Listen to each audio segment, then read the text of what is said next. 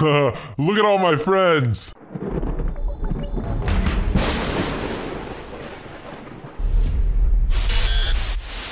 Hey, what's going on Swifters? It's ChimneySwift and welcome back to another Minecraft mod review. This mod is called the Butterfly Mania mod and today I'm going to be showing you guys what this mod adds into Minecraft and how this mod works because as you can see there's a bunch of butterflies flying around um, and there's a bunch that spawn within the world so I sort of just built this little greenhouse here I went to creative mode and spawned in a bunch of random butterflies but there's over 150 different species of butterflies and they all have different behaviors um, they're actually quite smart they feed they hide from the rain they try and run away from you, and uh, different things like that. Each one has sort of has a different property.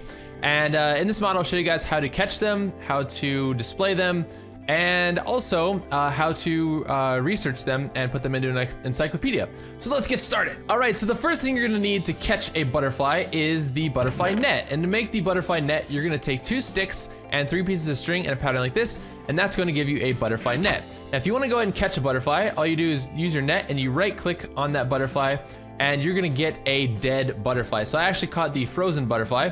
Um, and uh, as you guys can see here, I'm actually gonna show you this real fast. But this is like all the different butterflies that are in the game. It's ridiculous. There's a ton of them. Um, so if you catch a butterfly with a net, um, just without a jar in your inventory or anything, you're gonna get a dead butterfly. It's gonna die. But that's not that's not so bad because you can actually use these butterflies, these dead butterflies at least, to decorate your house. So that brings me to the next thing, and we have um, these sort of uh, trophies or whatever. So um, there are just some examples right here. You can create these sort of um, butterfly trophies or they kind of looks like item frames or uh, picture frames. And um, you can make them out of any dead butterfly that you catch. So this one right here is a lava butterfly. And uh, basically what you do is you just use sticks and surround any butterfly um, with that, and you're gonna get this um, this looking frame here. If you want a blue frame, you surround your butterfly. I happen to use a common brimstone, and you surround it with lapis lazuli. Then over here, if you want an iron frame uh, for your trophy, uh, I used a green hair streak one, and uh, you just surround it with iron like this. And um, basically, if you just hang these on the wall, um, a uh, they look like this. It looks really, really cool. So it sort of looks like a butterfly within an item frame. Um, so yeah, it looks really, really neat. Uh, over here we have uh, five different types of jars, and each jar, uh, if you're holding it in your inventory, when you catch a butterfly, the butterfly will actually go inside that jar and it will re remain living. You can release it later or just hang on to it or whatever. But uh, there's five different types of jars. So the first type is just a normal jar. It's it's created using an iron ingot and three pieces of glass. Um, let's set back to daytime. Over here we have a golden jar, and this is gold ingot with three pieces of glass. This one here is um, basically a lapis jar, or blue jar, and it's uh, in a pattern like this, used to make that. Over here we have an emerald one, um, so it's got a little green top to it. And right here is a diamond one. Now what's different between all of these is that um, the use of the jar actually lasts longer with diamond rather, uh, lasts longer with diamond um, versus like just the normal jar. Um, so uh, if you have one of these guys in your inventory, I'll show you guys this. If you have one in your inventory and you catch a butterfly, let's see if we can catch one here. There we go, I caught this guy here. He went right into the jar and here says here, I have an African map wing. Um, and if I wanna re-release him, uh, I'm currently in creative mode, so let's go to survival. If I release him like this, you'll see he comes out of the jar and he's still alive and can fly around. So that's pretty cool. Over here then, we have the encyclopedia, the magnifying glass, and the butterfly findings.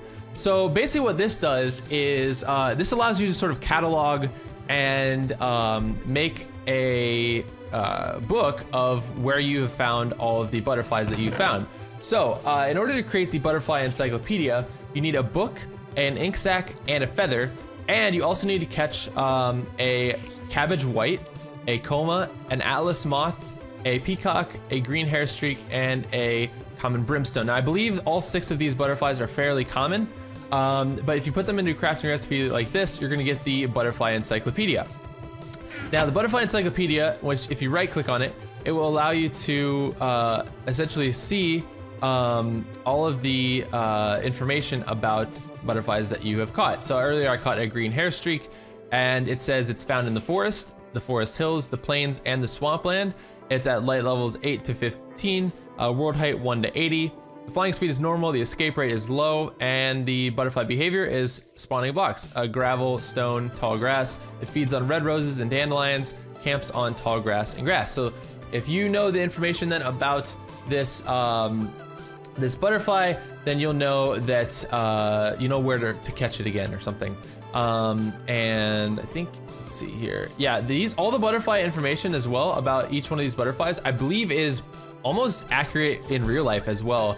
And it looks here like looks like here they have a um, little biography about each one of those. Um, so that's really cool. Uh, so over here then you also have another item you can create in this mod. It's called the magnifying glass and this is used or created using an iron ingot and glass. Uh, now if you have this magnifying glass, um, you can, I don't know, you can right click with it and just kind of like look at the butterflies. I don't know. you can advance with the magnifying glass, which is really awesome. But it's actually also used in a crafting recipe, and this is the recipe for butterfly findings. So this uh, recipe, as far as I can tell, is used for any butterfly right here. Uh, I happen to use a common brimstone for this recipe just to show you guys. But what you do is you take an ink sac, a piece of paper, a magnifying glass, and some butterfly that you want to study. And basically out of that, you get the butterfly findings. So I'm going to grab two of these. Um, let's go to game mode C. And I'm gonna grab a random butterfly like this something or other. I don't even know how to pronounce that. So this is crazy. All right, so what we're gonna do is gonna craft this up like this and this is going to give us a butterfly findings unopened. So uh, as you can see, it uses a little bit of the durability of the magnifying glass because you're using it to study that butterfly. If you go ahead and right click on this piece of uh, paper scraps here, it says paper scraps from Alcides agathyrsus something. If you were able to find, or you were able to find the uh, feeding attraction, or feeding attraction and camping blocks on butterfly specimen number 155. So you can either close this and get out of it, or you can actually add this to your encyclopedia. If you add it to your encyclopedia, it goes into here and it shows up here as specimen number 155, and it sort of adds some details about that butterfly. So um, it doesn't say where it was found or whatever, but it feeds on a red rose, dandelion, and cocoa plant. Um, and it says not enough information on this butterfly yet. Catch one to get it. So um, yeah, guys, that is pretty much the uh, the uh, the Butterfly Mania mod. Um, as you can see here in the beginning of this um, this encyclopedia, it has a sort of a key and a guide for you here to check, um, so you can see sort of what uh, what types of butterflies are which. So like green is very common, yellow is common, orange uncommon, red is rare, uh, purple is epic, gray is extinct, and these ones, uh, this color here is event. Um, same with the escape rate, low, middle, high. And uh, note, sneaking decreases escape rate by half. And the flying speed green is slow, uh, yellow is normal, and red is fast. Um, and uh, yeah, guys, so that is the Butterfly Mania mod. Uh, I hope that you guys enjoyed it. Uh, I definitely recommend you guys checking out this mod for yourself and exploring it for yourself and just noticing the uh, the butterfly's behavior um, because it's actually really really awesome. They're they're really really cool.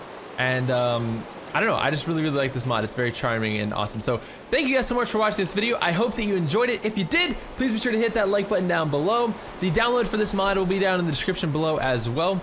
And uh, yeah, guys, thanks for watching, and I will see you guys next time. Peace.